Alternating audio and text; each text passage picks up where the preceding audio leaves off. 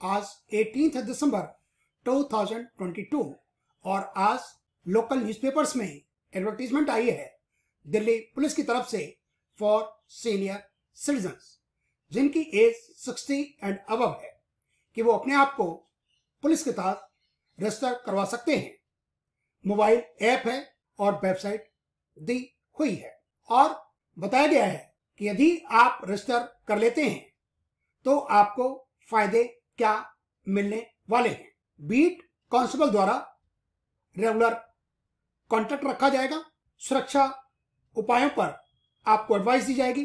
घरेलू जो आपके सर्वेंट्स हैं, उनका पुलिस वेरिफिकेशन अच्छी निगरानी के लिए एक आइडेंटिटी कार्ड अलग से दिया जाएगा और लोकल पुलिस आपके साथ कोऑर्डिनेट रखेगी आपकी सुरक्षा मुहैया करवाने के लिए।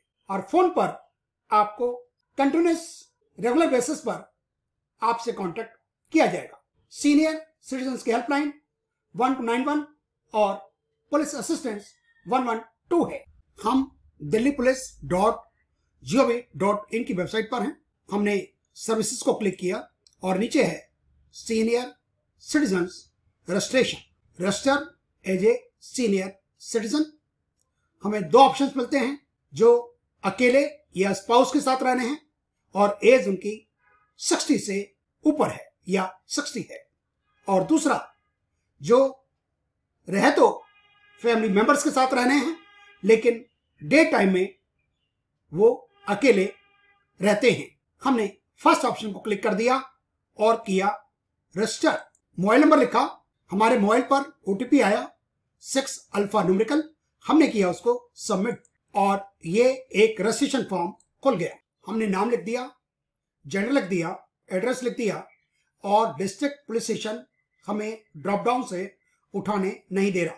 ईमेल लिख दिया मोबाइल नंबर लिख दिया, और हमें रिटायरमेंट का ईयर भी लिखने का मौका नहीं मिल रहा। रिटायर्ड फॉर्म लिख दिया, आधार नंबर लिख दिया स्पाउस नेम उसका डेट ऑफ़ बर्थ और वेडिंग डेट हम नहीं लिख पा रहे हैं। Number of children drop down से उठाया, और फैमिली है जॉइंट सेपरेट या अदर हेल्थ में ड्रॉप डाउन मिल रहा है नॉर्मल सेटिस्फैक्ट्री बिलो नॉर्मल हमने लिख दिया सेटिस्फैक्ट्री और लास्ट पुलिस विज़िट हमें लिखने का मौका यहाँ पर नहीं मिल रहा। हम कुछ भी लिख नहीं पा रहे residing alone only with spouse not with family हमने रिलेटिव का नाम लिख दिया।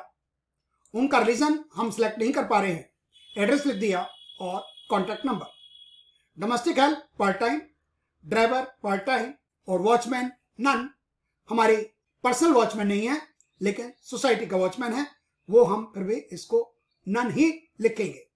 Tenant none. और इसको किया सबमिट। Please enter as. और हम एज नहीं लिख पा रहे हैं। तो फ्रेंड्स, आज हम अपना रजिस्ट्रेशन कंप्लीट नहीं कर पाए, लेकिन जब हम नेक्स्ट टाइम करेंगे तो हमारे सामने दिक्कत ये होगी कि हमारा मोबाइल नंबर और डेट ऑफ़ बर्थ सेम होने के कारण वो कहेगा कि ऑलरेडी आप रजिस्टर्ड हैं। हमें नेक्स्ट टाइम फिर एक बार अपना मोबाइल नंबर और डेट ऑफ़ बर्थ किसी दूसरे सीनियर सिटीजन की डालनी होगी, तभी हम उस सीनियर सिटीजन का रजिस्टर्ड करके आपको दिखा पाएँगे।